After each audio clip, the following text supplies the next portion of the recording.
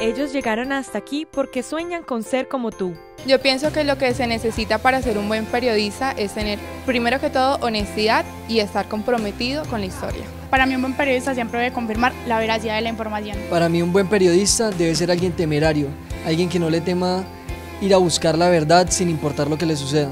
Para mí ser un buen periodista implica ponerse en los zapatos de las demás personas y saber entenderlas. Que tu labor sea la mejor historia.